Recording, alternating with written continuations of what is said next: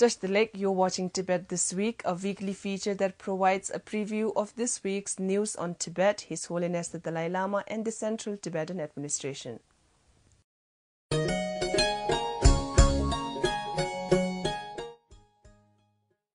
Last Wednesday, a week before the United Nations Human Rights Council opens its 2017 session, with China starting a new three year term, human rights defender, escaped activist, and niece of Tulku Tenzin Delek Rinpoche, addressed the 9th Geneva Summit for Human Rights and Democracy session on the fight for freedom and democracy. Nyima Lhamo represented Tibet along with other guest speakers from Cuba, Iran, North Korea, Russia, Vietnam, and other countries. Nyima Lhamo moved the 300 plus audience, including United Nations diplomats, human rights NGOs, by narrating personal anecdotes of her life in Tibet and why she risked her own life and her family to speak about her uncle Tulku Tenzin Delek Rinpoche, a renowned Tibetan spiritual leader who was tortured to death in Chinese prison in the year 2015. Here's the video of Nyima Lhamo speaking at the Geneva Summit. Good afternoon, everyone. I thank the UN Watch for giving me the opportunity to speak at the summit. I come from a nomadic family in Kham, Eastern Tibet. I left my six-year-old daughter and my mother back in Tibet. I've sacrificed a lot with hope in the international community. The reason why I sacrificed and risked my own life and that of my family is because the Chinese authorities imprisoned my uncle Tenzin Delek Rinpoche under false and fabricated charges. He died in Chinese prison during the 13 year in detention.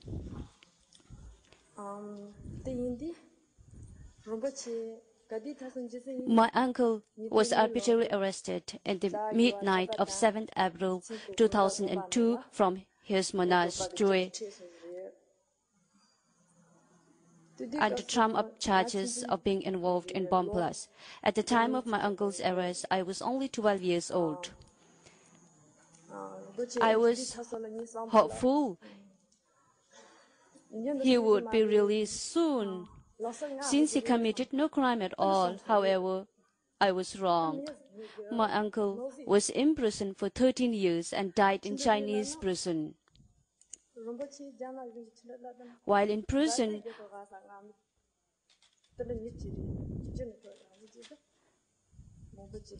my uncle recounted his experience of torture in prison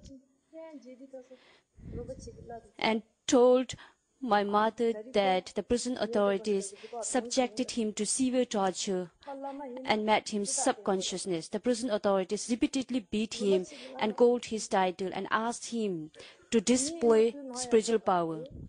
My uncle did not show any hatred or anger towards oppressor. Instead, he practiced compassion and advised my mother and me to do the same. My uncle did not commit any crime. He said his only crime was his loyalty and devotion to His Holiness the Dalai Lama. So he appealed, requested my mother to find justice for him. Ever since my uncle's imprisonment, my uncle and local Tibetans have put all our efforts to secure his release. My family and local Tibetans are not financially strong. However, we traveled all the way to Beijing and Siton. We appealed for an independent and fair trial. We asked for medical parole. But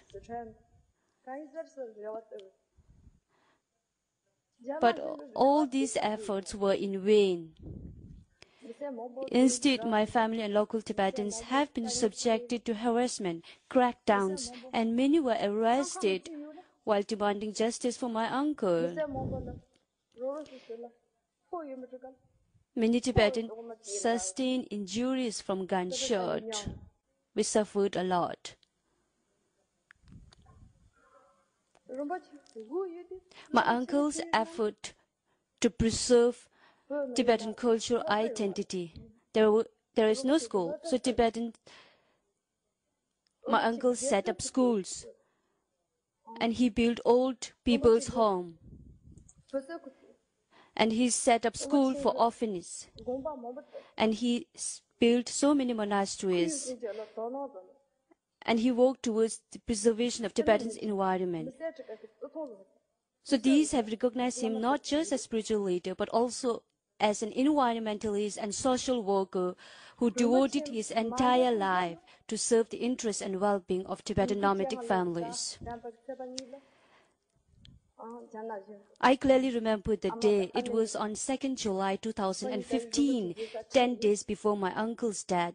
Much to our surprise, we were contacted by the prison authorities and told that we could meet him. Hence, my mother and aunt left immediately to see my uncle.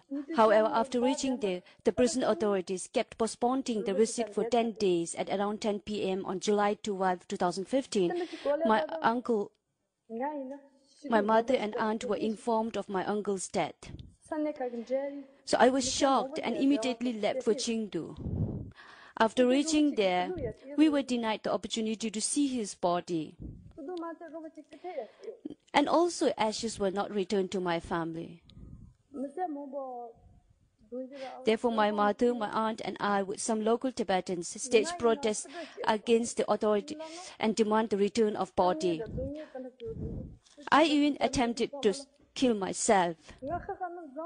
And I thought if I commit suicide, this would attract international attention.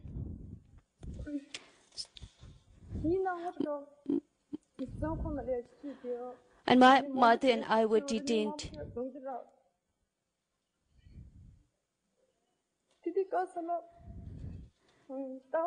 And my mother and I were detained and accused that we had committed a serious crime. We were also warned of the poss possibility of being sentenced to life imprisonment.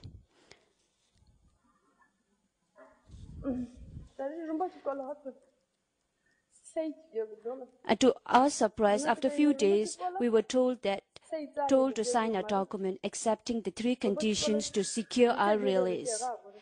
But we refused to sign the documents because we told Tenzin Delek is not only my uncle, he is spiritual leader for all Tibetans. Then they came out with document and saying that one of our village leaders had signed the condition on our behalf. That conditions were no information on Tenzin Delek shall be shared in Tibet. No accusation shall be made against the Chinese authorities that Rinpoche had died of poisoning.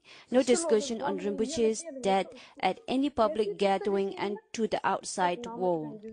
And we were strictly instructed to follow the direction. This is how actually we secured our release from prison.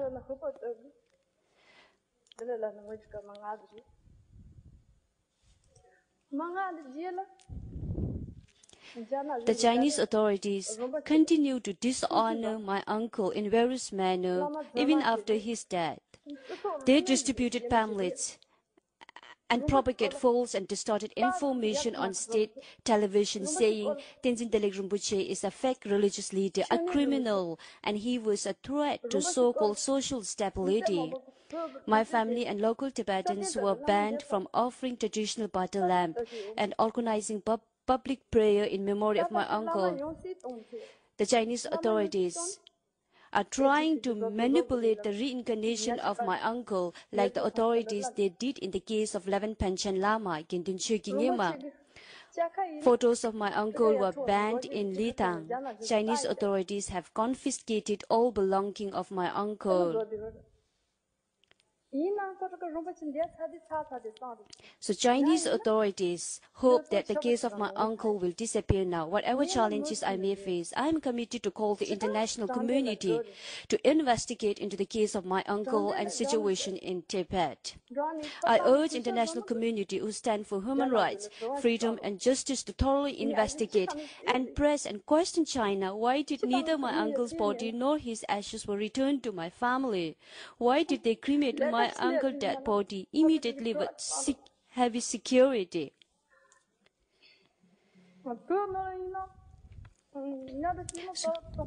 The distress and trauma that my family has been subjected to since my uncle arrest is just one of many cases in Tibet.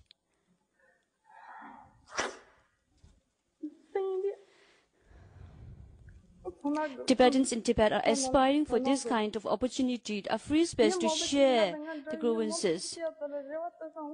And they place lots of hope on international community. And there is no space for Tibetans in Tibet to share this kind of freedom. I once again would like to say thank you very much for listening to me.